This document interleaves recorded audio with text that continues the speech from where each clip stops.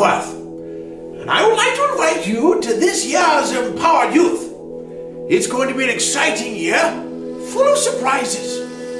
You see, I am a professor of archaeology, which means I love digging into the past to rediscover what those who lived before us already knew.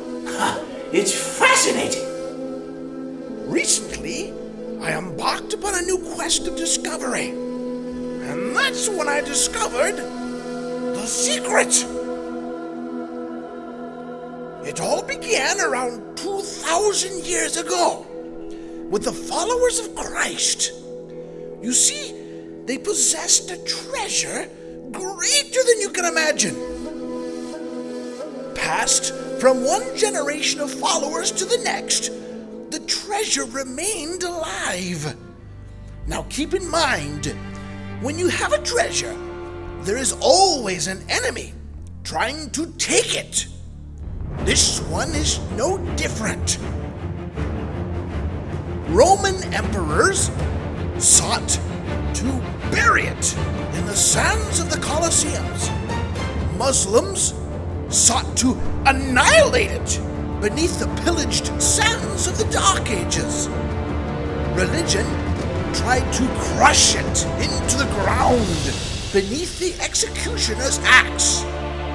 Secularism seeks to conceal it in the sands of boredom and obscurity.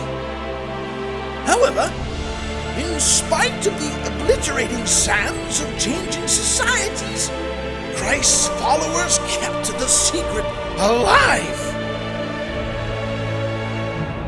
Great treasure passed on through the hands of great men, great churches, persecuted followers, tortured martyrs, great revivalists, and church plants around the world, with faithful men passing on the treasure, the secret remained alive, incapable of being buried.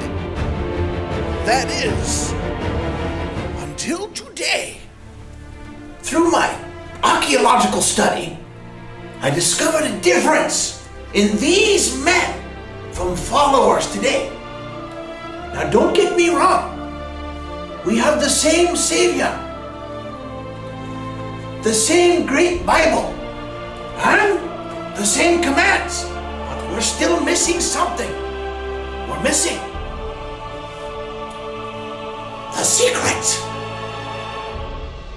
The secret has been lost to the shifting sands of mediocrity, apathy, and indifference to the things of God. The secret has been replaced with shallow worship, the distraction of gadgets, and the lust for money, fame, and prestige. The followers of Christ have become followers of friends, celebrities, and self.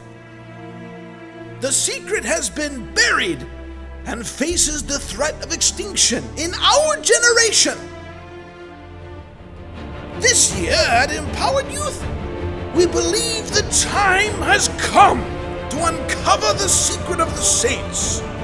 As we've seen, it's not always been a secret. It was known by the apostles. It was foundational for the early Baptists.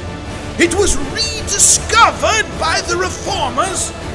It was on the dying breath of the martyrs. They all knew it. All of them. Join us this year as we dig for the difference in the soils of the past to discover